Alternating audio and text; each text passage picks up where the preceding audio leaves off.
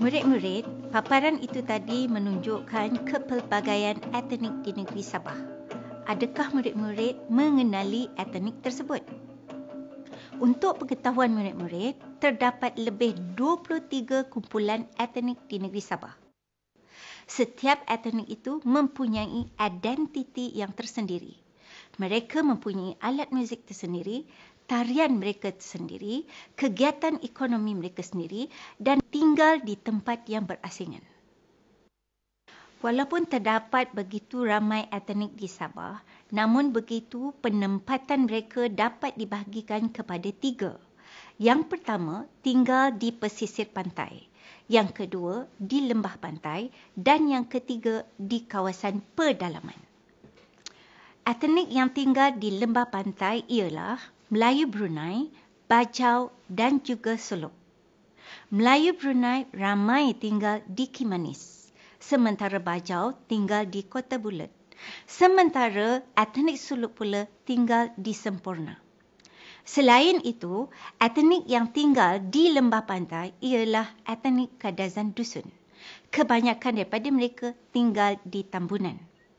Etnik yang tinggal di kawasan pedalaman ialah etnik Murut mereka menumpukan tempat tinggal mereka adalah di kawasan rundum dan persiangan. Sesuai dengan kepelbagaian etnik, terdapat pelbagai jenis adat yang diamalkan oleh etnik-etnik di negeri Sabah. Antaranya ialah adat pertanian monoget.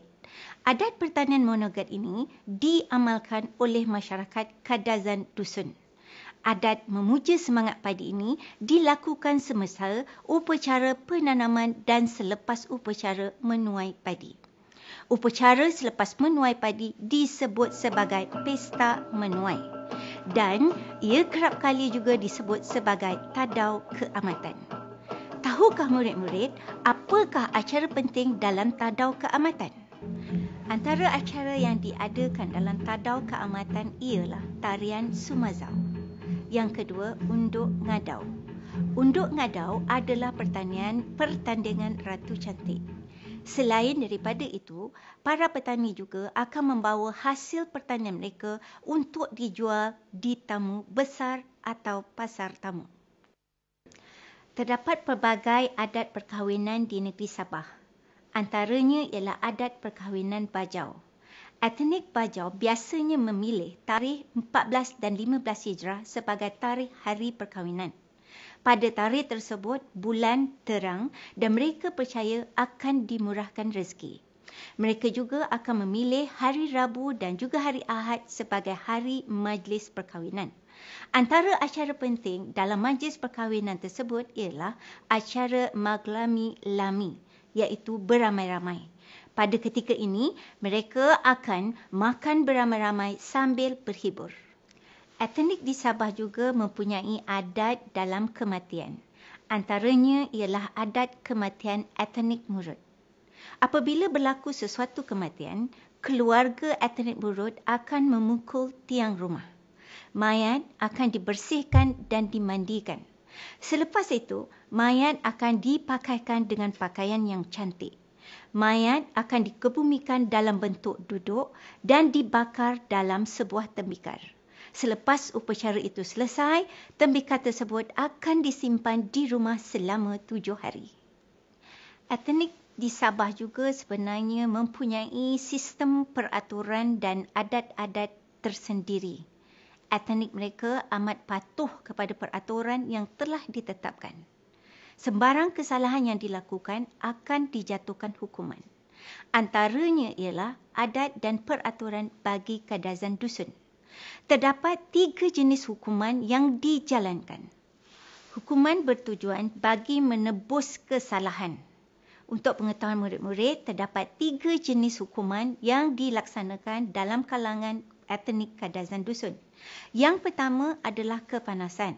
Hukuman ini akan dikenakan bagi mereka yang melakukan sumbang. Yang kedua adalah babas. Hukuman ini dikenakan kepada mereka yang melakukan pergaduhan. Sementara yang ketiga adalah sogit. Hukuman ini akan dikenakan bagi mereka yang merosakkan harta dan mencederakan orang. Pesalah biasanya akan membayar ganti rugi kepada mereka yang terinaya. Untuk pengetahuan murid-murid, semua perbelanjaan kepada amalan tersebut akan ditanggung oleh mereka yang melakukan kesalahan. Etnik Kedazan Dusun sangat mematuhi peraturan. Ini kerana mereka percaya sekiranya mereka melanggar peraturan akan terkena malapetaka. Antara malapetaka tersebut ialah seperti kerosakan tanaman, bencana alam dan diserang wabak penyakit. Murid-murid, pada hari ini cikgu telah menyentuh tiga aspek berkaitan dengan negeri Sabah.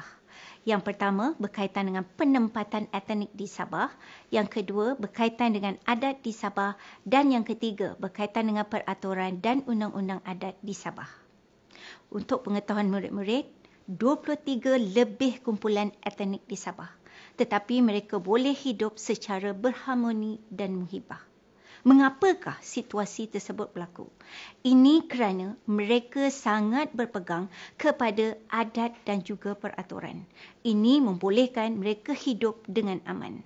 Sehubungan dengan itu, amalan seperti ini sepatutnya menjadi pegangan kita sebagai warga negara Malaysia yang memegang prinsip satu Malaysia.